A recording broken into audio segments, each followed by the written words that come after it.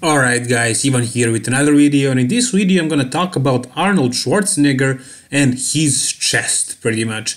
Is he the person who has the biggest chest in the history of bodybuilding and even today, even considering today's era of bodybuilding? The last time Arnold competed was in 1980, which was how many, 40 years ago? And 40 years later, with all the technology development, with bodybuilders having teams around them, doctors, coaches. The knowledge is so much improved, the equipment, every single thing is on another level. And still, even till this day, nobody had better chest than Arnold. And that's my take. And now I will show you. So let's go picture by picture. So this is Dexter Jackson, and yeah, this is young Dexter Jackson. Later he became bigger. But Dexter is one of the most genetically gifted bodybuilders ever. Even though he had superior back, arms, delts, everything pretty much. His chest was lagging behind Arnold. You cannot argue with that, you must admit it. There is another guy though, Franco Columbu. He's also from the 70s and the 80s, and his chest was very close, I would say. His biggest weakness was actually were his nipples or his gynecomastia or so-called bitch tits. he, that was the issue, but later he fixed that problem. He, he probably had a surgery, he removed that part of nipple that creates gynecomastia, and his chest looked aesthetic once again. But was it bigger than Arnold's? Was it more freaky? Was it more developed and so on? I don't think so. I wouldn't say so. Here you can see Franco Columbu standing next to Frank Zane, who was one of the most aesthetic bodybuilders, but not the most massive bodybuilder. So, was any of these guys better than Arnold? Nah, not even close. Look at Arnold here. Look at him. Look at his physique and admire it. The thing is that I like that I find very very impressive is that he was a monster for his era. He definitely was a size freak. But when you look at his physique, if you are a bodybuilder, of course, if you are a regular person who doesn't follow bodybuilding, you may say this is too big you may say that he is too muscular. But if you are a bodybuilder, you will say that this is very aesthetic physique. This is very classic and aesthetic physique. But his chest looks like I don't know, it looks bigger than most women in the world. Definitely. More than 90% of women in the world. And still these proportions are looking perfect. So that that really amazes me. Then you had Serge Nubret and his physique was very aesthetic, very pleasing to look at some people would say it's more aesthetic, and his chest also looks very good, but not more impressive than Arnold's. Lou Ferrigno, the original Hulk, also very good chest, very very good physique overall. And when he came back in the 90s, I think that was his best because he improved many things. He brought much better shoulders, arms, back, and for that reason he looked freaky. He was also very very tall, very very tall guy. I mean, he was the Hulk, right? And his chest also very developed, very thick and also very broad. But when you look at him standing next to Arnold, no way, no chance in hell that he has better chest than him. Nope. Surprisingly, Arnold's legs are looking bigger also. And look at this photo of Arnold. This is just jaw dropping. The I just dropped my jaw. This is just out of this world. What about Dorian Yates, my personal favorite bodybuilder of pretty much ever. Um, he had many weaknesses, for sure. Also, look at this photo of him when he was young. This gives me goosebumps, seriously. He was so destined to be a bodybuilder. He looks like Hercules. That's how I imagine Hercules to look like. Here is him doing his Smith machine press, which made him a lot of gains, which he needed against Lee Haney because that was his biggest weakness. Although the Smith machine was probably the reason why he had a shoulder injury later, that's what he said. And here you can see that he was a monster. He was humongous bodybuilder. He had pretty much size all over his frame, but his pecs weren't as good.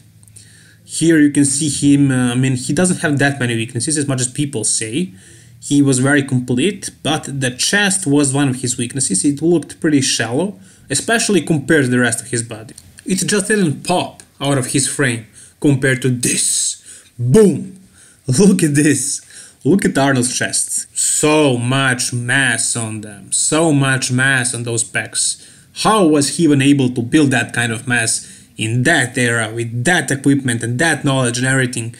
I don't know. I don't know how guys of today can't do this, but it is what it is. He is the best for that reason, the best chest at least, and uh, also very aesthetic, very aesthetically pleasing pose. I don't know. I find this physique very very aesthetic, even though his pecs were so freaking freaky. What about this guy though? Ronnie Coleman. Arguably the best bodybuilder in the history of the world. The biggest one, the most defined one compared to his size. He had completeness, he had muscle on top of muscle on top of muscle. And his chest was one of his strengths, like pretty much any single body part, maybe except his stomach, but everything else was on point. His legs, his back, his chest, his shoulders, his arms, everything was there. And look at it here. Very, very impressive. Very, very big chest. Extremely big chest but proportionally speaking not bigger than Arnold's. This just looks unreal. Look at the size of those pecs, man, this is humongous, humongous. What about if we compare him to the current biggest bodybuilder in the world, 316 on the stage, Big Ramy, bigger than Ronnie, not more defined but bigger, not better than Arnold, still, I give it to Arnold again. Again, the freakiest, the biggest, the most impressive packs in the world were those of Arnold. We forgot to mention one eight times Mr. Olympia, that's Lee Haney, who brought something different on the stage. He brought more complete package, he brought a great back, great legs, great shoulders, great arms, but his chest wasn't as good as that of Arnold. What about Jay Cutler, one of my favorite physiques of all time and personalities as far as Mr. Olympia's? his chest was kind of too tight. It looked very aesthetic, if you ask me. I liked it, but it wasn't the broadest chest, the biggest, the most massive chest, so not better than Arnold's. What about Phil Heath though? Phil Heath had a kind of tight chest. His chest wasn't the broadest chest ever, but the pop that it had, maybe it still has, I don't know if he, if he retired completely. The pop that his chest had was just I don't know how to put this in words, but it looked unreal, alien-like, alien-like. Look at it here. Here actually doesn't look that tight and small. It looks kind of broad as well. But the pop that it has, out of this world, out of this world. Very, very impressive chest. But do you find it more impressive than Arnold chest? You cannot say that. You cannot say that. You can say that it looks more weird, more strange, but not better. Not better. And here you can see Phil Heath from 2010, I believe, I'm not sure, I think this was before he became Mr. Olympia. He does look a bit younger and a bit smaller. Although later, I think the next picture is from 2011, and look at this. Boom! Wow! Oh, this chest, this chest. God damn. God damn. And what about uh, Kevin Levrone, though? Before his back there, he was very aesthetic, very lean. He always came very conditioned, especially in 1992. But after his back there, he never came as conditioned and he never brought as good legs. But he came much bigger. And his side chest pose is one of the best side chest poses ever. If he competed today, in my opinion, he would be Mr. Olympia. He would be unbeatable. By the way, do you think his chest is better than Arnold's? Do you think so? I do not. I do not. I would still go with Arnold. Still, you cannot find any bodybuilder nowhere near as good as Arnold as far as chest department. What about Flex Wheeler? Very aesthetic physique, cartoonish physique, crazy, crazy physique, but not the biggest chest, not the best chest. Dennis Wolf, big guy, broad shoulders, big chest, massive all over, but still I don't find these pecs more impressive than Arnold's. What about Paul Dillett though?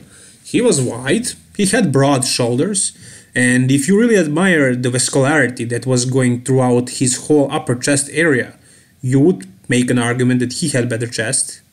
But he wasn't the best poser. He's probably the worst poser ever. I don't know what was his problem, but that posing of his was, I don't know, laughable, to put it mildly.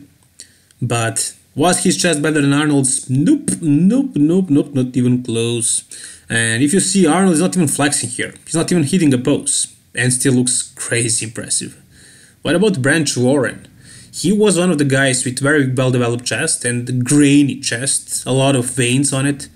But you cannot say that it's better than Arnold's. You cannot do that. Nope. Also, another guy that I really, really like, and especially his chest, that would be Cedric McMillan. He has very well developed chest and it is looking good compared to the rest of his body. So in terms of development and proportions, Cedric is very close, but still not better than Arnie. What about our current Mr. Olympia, Shawn Rhoden? This is the guy that I would say has the best chest in the world, better than Arnold's. Right? Just kidding, just kidding. Don't report the video, don't dislike it, don't curse me in the comment section. I was joking, of course, Arnold has the best chest in the world. Nobody's getting near him, especially, especially not Shawn Rhoden. So that's about it for this video, guys. I think that Arnold still has the best chest in the history of the world. And what do you think? Do you think I'm wrong? If you can think of anybody who had better chest, tell me in the comment section below and tell me what you think. If you enjoyed the video, make sure to like it. And if you want to see more videos like this, subscribe to my channel. All the best, guys. Bye bye.